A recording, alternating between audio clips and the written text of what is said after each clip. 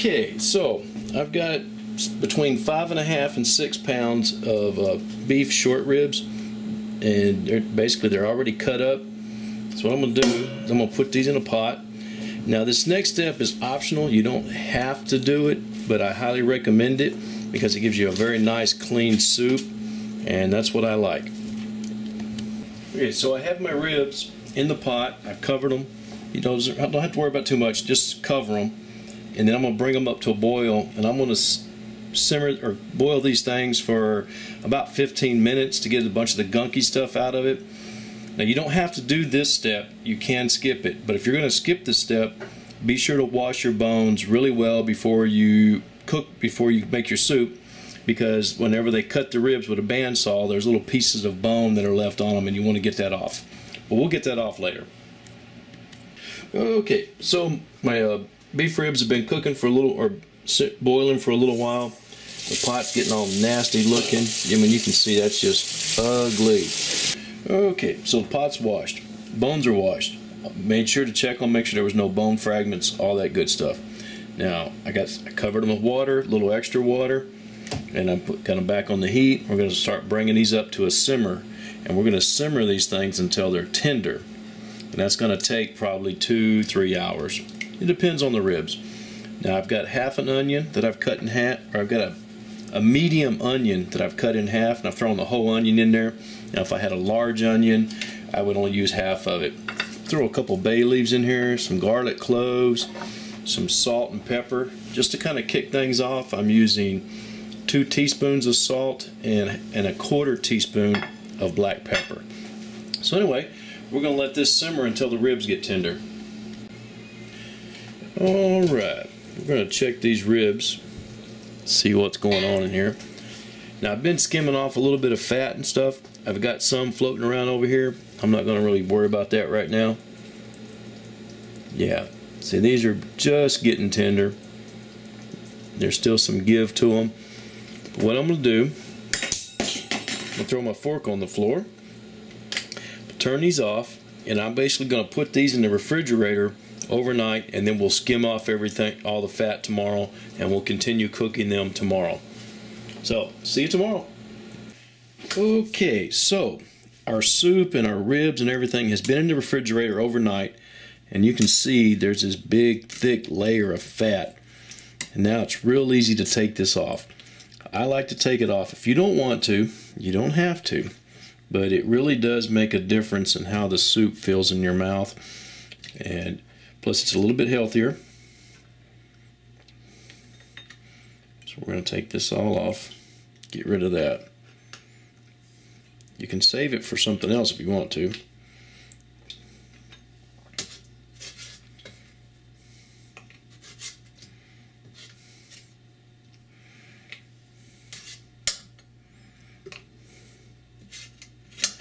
Now, we're also going to pretty much take out like these little pieces of onion because these are just soft and mushy now.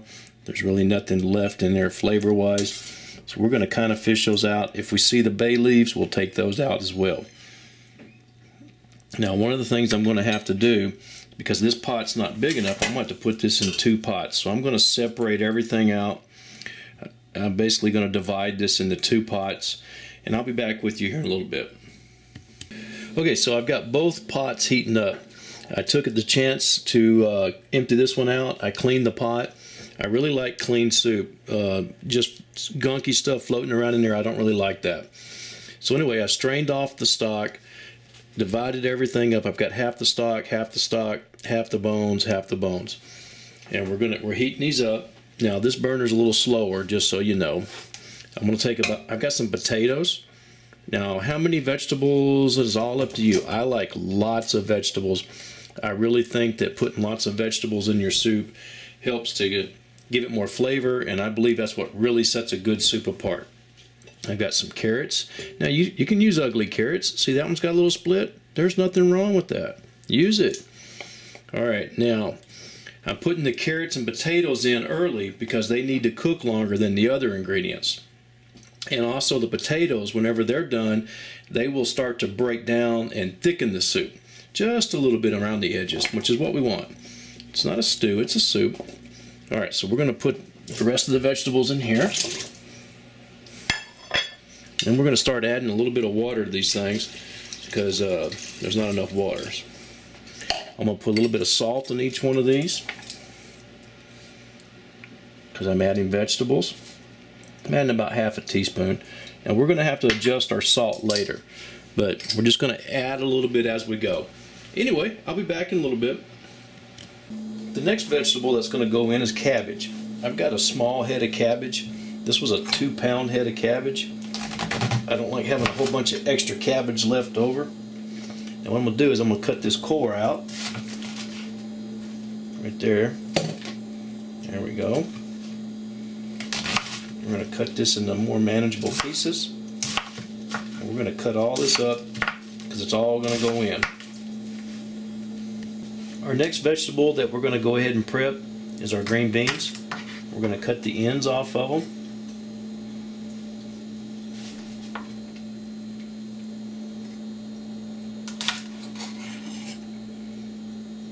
And we're going to cut them into pieces and more manageable and eat when you go to eat your soup. There we go. Something like that. That'll be good. We'll just finish cutting the rest of those up. Okay, so the soups are just coming back up to a simmer. And what I'm going to do, I'm going to go ahead and put the green beans and the cabbage in. Putting the green beans on the bottom. Now, you're going to say this looks like an awful lot of cabbage. And I'm going to say, yes, you're right. It looks like a lot of cabbage. But cabbage really cooks down, so don't worry about it too much. Now remember, half of this goes in the other pot.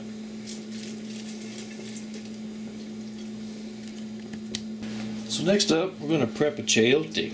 Anyway, this is what one looks like before you peel it. It's not much difference. You may have seen them in the store.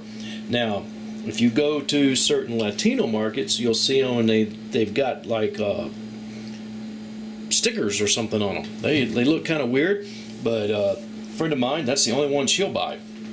But hey, I just soon buy these. They're a little easier. But she says the other ones do taste better. So anyway, this thing's peeled. But see, you got this little piece right here. Couldn't quite get the skin off of that. So we're just going to kind of trim that off. Now it's got a little bit of a seed in here. So we're going to take that out. A little bit more. That unappetizing portion, we'll take that off. And then what we'll do, we're going to dice this thing up.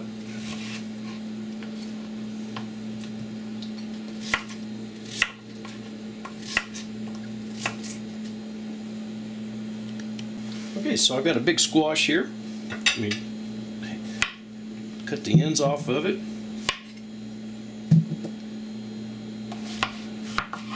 Cut it, we're just going to dice this devil up.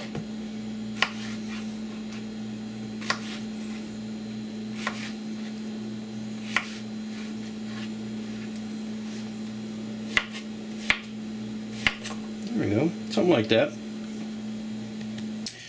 Okay, so I, I checked my seasoning and I'm definitely a little bit low. So I'm going to need, I'm just going to slowly keep adding salt. Like right now I'm putting in a half a teaspoon in each one of these pots. Now because I'm going to add more vegetables, I need a little more liquid. So I'm just going to put a little bit more in here.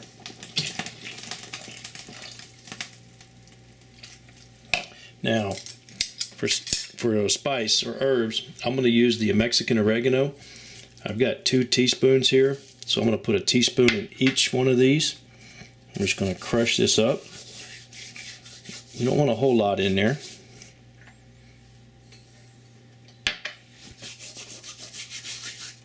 There we go. And we're going to bring this back to a simmer and let it simmer for a couple minutes before we put the rest of our vegetables in there. Okay, so my carrots and potatoes, they're getting tender. And what I'm gonna do is I'm gonna put my half put my chayote and squash in here. Like I said, you know, I gotta do half and half because I got two pots.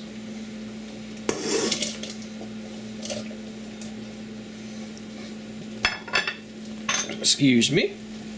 Small kitchen, kind of hard to cook and film at the same time. But we'll make it work. Stir that up. And we're going to put our corn in here.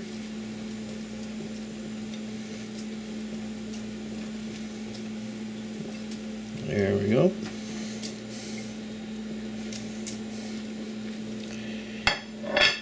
We're basically going to let this cook until everything's tender and then we'll serve.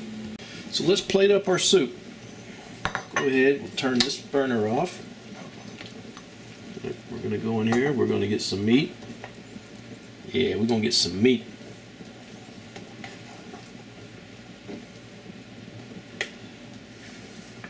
Let's turn that, turn that over so it's more pretty.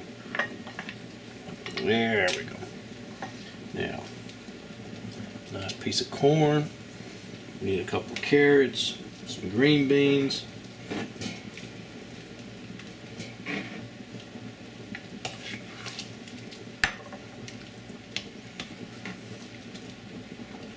Squash.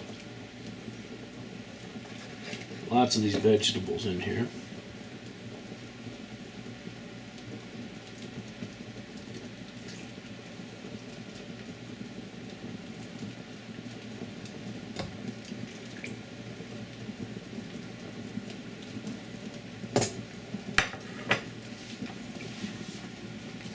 So let's season this up.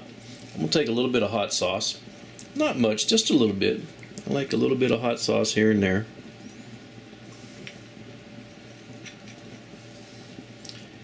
Take a nice big hunk of juicy lime. We're gonna squeeze that in there. We're gonna sprinkle a little cilantro. Okay, there we go. So, is it soup yet?